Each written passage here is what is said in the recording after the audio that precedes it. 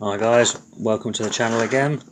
In this video we're going to be talking about whipping tabs, the leather tabs on the top of your catapult there. Uh, the only video I've actually seen with it on is one from Romany Custom Catapults, Asa Wilson. I'll put a link in the description for uh, his channel. But yeah, it's the only video I saw, so I thought, you know, let's give it a go and uh, give my take on it.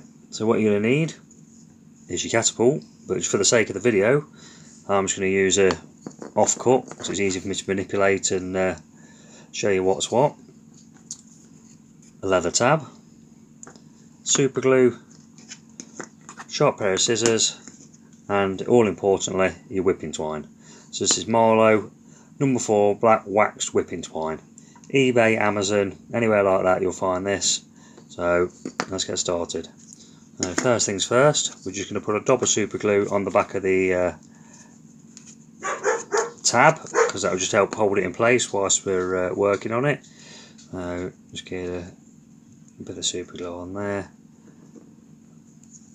And just put it on so we're something like that. Let's, put, let's, do that so we don't knock it over, be in trouble. Uh, whilst we're waiting for that to set, we'll just cut off our uh, length of twine. So from experience, I know we're going to want about three feet, so we'll just uh, pull that off. Good pair of scissors. So what we're going to start with, we're going to create a loop. So we're going to have a short end and then a very, very long piece. Something like that. Now, I always start with the loop at this end, at the bottom here, and then work my way back up. You can do it the other way I can't say either way is better or worse, it's just the way I prefer to do it. So, loop at the bottom.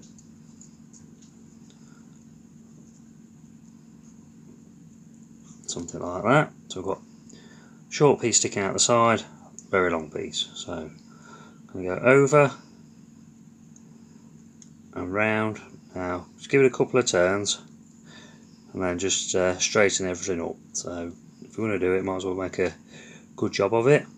So what I like to do, keep it taut whilst winding round, and then just keep working working back and closing the gaps up. Uh, give it a good pull. You're not going to snap this uh, this twine. It's very high tensile property. So round, keeping it taut. Like I say, you can just keep pushing it together, making it nice and neat. We don't want any gaps in the twine. Not that it really, really matters, but like I say, if we're doing it, let's make a job of it, aren't we? Keep going. It's amazing how quickly we use this twine up. Give it a good pull, keeping it taut, pulling it round, keep it taut, pull it round. Good, good tug on it there. So there we go, you can see what we're doing. We're near the bottom now. This last couple can be a little bit awkward trying to keep it so it doesn't drop off the bottom of the leather, off the bottom of your uh, tab, but there we go. That's that, a little gap in it there. The last one, there you see then that happens.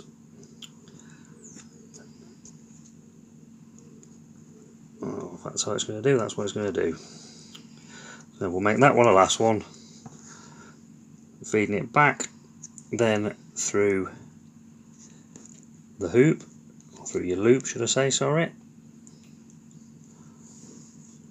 I'll bring, try and bring it to the centre, uh, get that out of the way, pull that up, but before we get too excited, we want to make sure that this one doesn't get caught under the tab.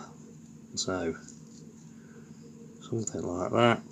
If we just pull it up and we're not going to pull it all the way through because it'll unwind so we want to pull it probably about halfway or so it's under. So pull it through pull it through. There we go I'm happy that. That's in about the middle there roughly. I'm cut any excess off with a good pair of scissors.